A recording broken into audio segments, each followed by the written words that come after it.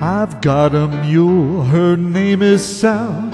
Fifteen miles on the Erie Canal. She's a good old worker and a good old pal. Fifteen miles on the Erie Canal. We've hauled some barges in our day, filled with lumber, coal, and hay, and we know every inch of the way from Albany to Buffalo. Low bridge, everybody down. Low bridge, for we're going through a town. And you always know your neighbor, you always know your pal, if you ever navigated on the Erie Canal.